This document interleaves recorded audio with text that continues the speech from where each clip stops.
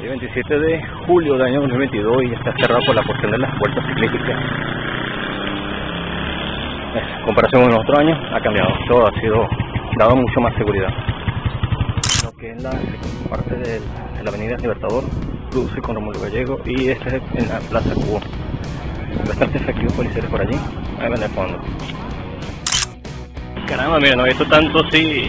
La avenida tan sola como ni siquiera en un domingo de Semana Santa, está tan solo como ahorita. Cierto, es la avenida Rómulo Gallego, de la avenida más concurrida de Valle de la Pascua, y mire, sola completamente. Y hasta allá. Sola, sola, sola. No pasa vehículo, los únicos vehículos que están pasando son los de seguridad, eh, protección civil, policía, guardia nacional, eh, eh, ambulancias, todo eso. Chequen aquí, solamente algunos negocios están abiertos. Bueno, este está cerrado, un negocio de venta de como producto para pero hay otro por allí que sí estaban abiertos. Y la estación de servicio. Había comentado hace un momento de que hace años, años había cambiado la cuestión. Bueno, sí, en, comparación con los años que tuvo más fatal Venezuela, años 2014 hasta 2020, 21 aproximadamente. ahorita no es que estamos bien, pero tampoco estamos mal. Vamos allá a unos pequeños pasos. 3 kilómetros recorrido y completamente solo, todo cerrado. Sorprende la avenida que es tan agitada todos los días y vivirla tan sola es completamente diferente. Por cierto, miren, en cada esquina hay un policía uniformado, una persona de seguridad que no permite el paso ni de un lado de un lado a otro, así que para dar la vuelta para pasar por esta avenida o, del otro lado de la ciudad hay que dar un vuelto súper largo. La vuelta que hay que dar es hacia llamado Pescadito, hasta allí, para poder pasar hacia el otro lado de la Pascua. Así que la vuelta es muy larga, estamos hablando de, no sé, 5 kilómetros, 6 kilómetros para poder dar la vuelta hacia el otro lado. Estamos hablando, sería de norte a sur. Para, si estás en el norte, para pasar del sur, necesitas recorrer por lo menos 6 kilómetros hacia el este para poder llegar hacia el otro lado, que es el sur. Algo largo el camino, bastante largo.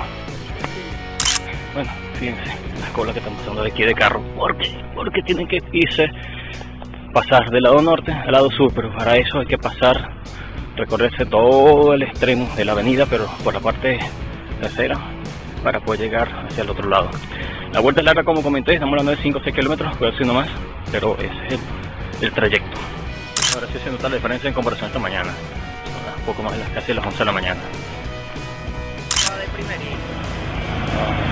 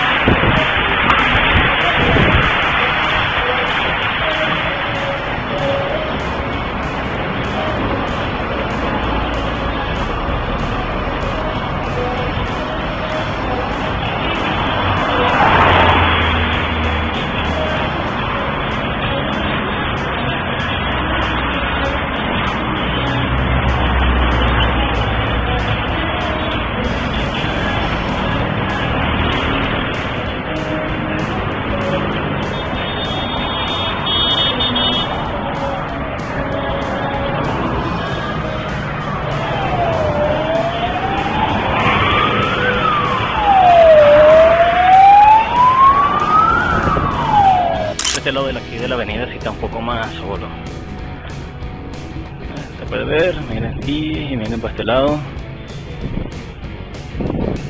Sí, un poco más solo. Toda la concentración está más que todo en el centro, en el centro de la avenida, en el punto, punto medio diría yo. Venimos de nuevo a ver la vuelta. No pasa, no pasa mucho tiempo, estos son rápidos que van pasando.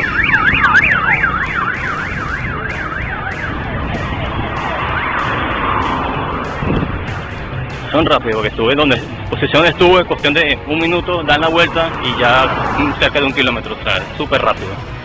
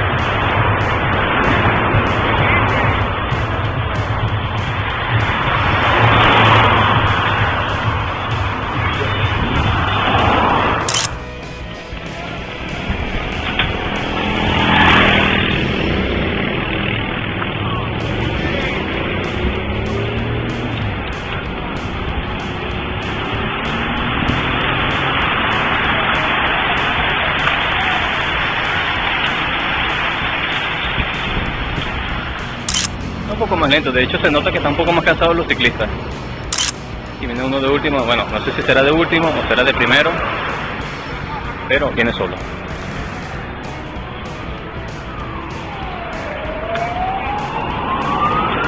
Ajá, este le vienen cortando la brisa para que vaya un poco más rápido.